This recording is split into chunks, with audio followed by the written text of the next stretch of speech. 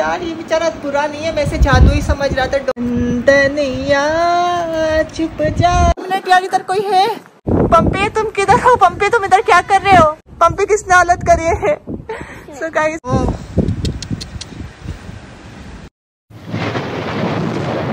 अस्सलाम वालेकुम guys welcome back to my new vlogs आज आपका अब्दुल मुझे इतना हैप्पी हैप्पी है जिस तरीके से एक भाई और मामू वगैरह लेके आ चुके थे पंपी और मैं इतना ज़्यादा परेशान हो गया था कि मैं इस गुड्डे को बेचारे को कितना बुरा भला समझ रहा था यार। ये तो इतना मासूम है। और पंपी आ चुका था यार सुबह के टाइम पर मैं बहुत ज़्यादा थका हुआ था ना। पंपी को पूरी रात ढूंढा था। तो इस तरी, इस तरीके से नमाज़ वगैरह पढ़ी थी नाश्ता वगैरह करा था। फिर मैं सो गया था। फिर अब जाके मैं उठाऊँ। और मैं इसे इतना बुरा समझ रहा था बल्कि ये तो मेरा बेबी है यार। ये बेचारा बुरा नहीं है। मैं इसे जादू ही समझ रहा था। डोल के पंपी बन गया। लेकिन पंपी तो आ गया वापस। लेकिन ये देखे चंदनिया चुप जाना रे ये तो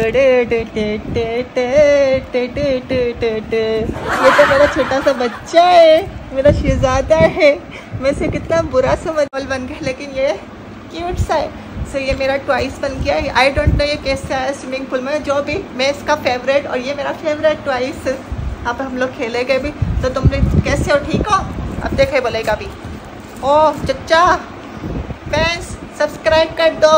मैं ठीक हूँ। चाहे मेरा छजाता है देख रहे कितना क्यूट है। सो गाइस रात हो चुकी है, अब आप लोग यही सोच रहे हैं कि अब्दुल मुझे रात को क्यों मिल रहा है? क्योंकि यार, मेरे को आँख में इतना ज़्यादा दर्द हो रहा है, इतना ज़्यादा हो रहा है, और सुबह के टाइम पे तो इतना ज़्यादा हो रहा था ना लिटरली आप लोगों की सोच है। तभी मैं व्लॉगिंग नहीं कर पा रहा था मैंने सोचा कि टू भी अपने फैंस के लिए कंटिन्यू व्लॉग करते हैं। सो so, पम्पी तो आ चुका था लेकिन खुशी तो बहुत ज़्यादा माशाल्लाह माशाल्लाह से अल्लाह पम्पी को बड़ी ज़िंदगी दे। लेकिन गाइस कल जिस तरीके से मैं रोया था ना इस आँख में इतना दर्द हो रहा है मुझे पेन लेकिन मैंने अपनी आँखों का फिर भी मैंने सोचा नहीं मैंने सोचा मेरी मेरे दो चूज़े हैं ना, आप लोगों को जिस तरीके से पता है, उसकी एक आँख पे तोते ने काट लिया था। चूज़े को तो उसकी आँख थोड़ी सी सूझ गई है तो मैंने सोचा आपका अब्दुल मुझे भी थोड़ा सा डॉक्टर टाइप का है तो मैंने सोचा इस पर लगाएँगे हम आर के गुलाब का वाटर है। सो मैंने ये रॉयल बाई वगैरह से मंगवा लिया तो आप लोगों को दिखाते, मेरे चिक्स दिखाते।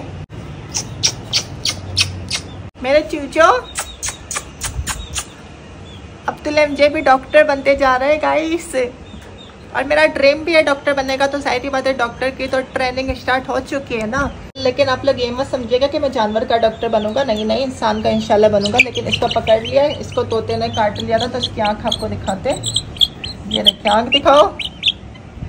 दिखाओ तुम्हारी आँख, दिखाओ ये वाली। आँख खोला आँख। देख रहे ये वाली आँख पे इसको देखो तोते ने काट लिया था। फटाफट से डालते पानी इसकी आँख में। देखो, इसका साथी से देख रहे परेशान होके। तुम नीड हो, इसको मैं ठीक करा दो। मिनट बिल्कुल shut up shut your mouth keep silent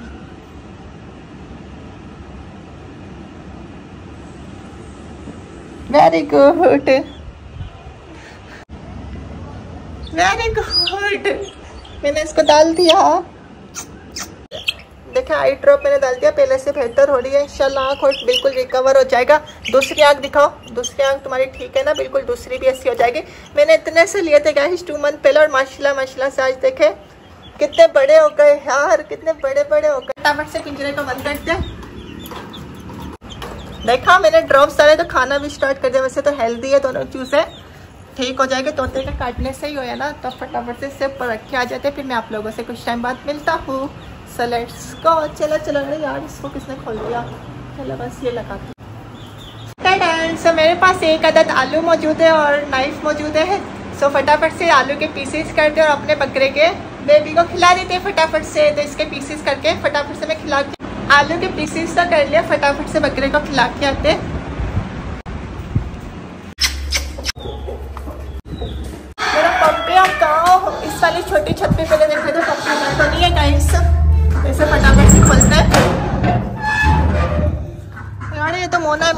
पंपी को देखा है?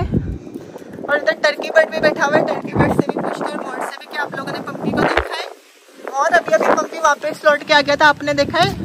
बताओ, आपकी भी आँख रेड हो रही है। यार, आज सबकी आँखें रेड हो रही है। इधर तो नहीं है पंपी नहीं कहीं इधर भी नहीं है। तो इससे टर्की बर्ड से पूछते हैं। टर्की बर्ड आपने देखा है? आपने भी नहीं देखा? चलो, दूसरी छत पे जाके देखते इधर तो नहीं है पंपी नहीं गाइस इधर कहीं पर भी नज़र नहीं आ रहा, पेटी के अंदर भी चेक कर लेते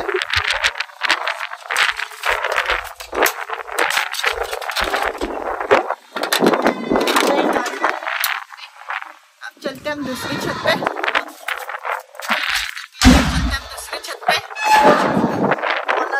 पता नहीं क्या जा रहा है। मोना, क्या हो क्या मोना कुछ बताना चाह रहा गाइस मुझे चलो छत चलते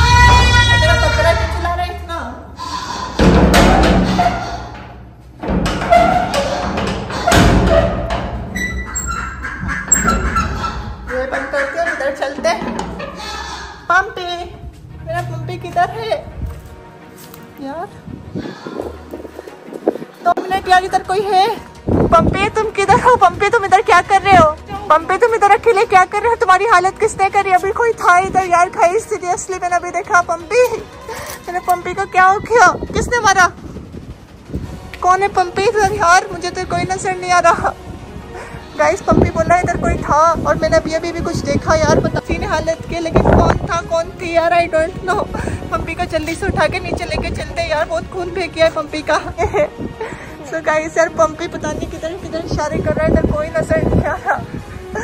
रेबिट बताओ ना यार, ये पंपी की हालत किसने करी थी पंपी ये देखो, इसकी आँखें भी रेड हो रही है यार, मुझे तो बहुत ज़्यादा डर लग रहा है, पता नहीं। गाइस से कैसे खून निकल रहा है, बहुत ज़्यादा। इसके अंदर।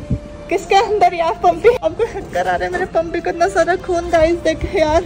बोलता हूँ ना, तुम अकेले मत आया करो, फिर भी अकेला आ जाता है भाई। तुम्हें पता है ना, तुम्हारे लिए कल मैं कितना ज़्यादा परेशान हो गया था, अभी फिर से मैं तुम्हें खो देता। अभी पंपी को लेकर नीचे चलते हैं और अम्मी को भी शिकायत करते हैं कि आइंदा से अकेला नहीं भेज। पाए और मैं डॉक्टर भाई को भी दिखाता हूँ, इसे क्या हो गया, इसका इलाज करे हर जल्दी जल्दी से।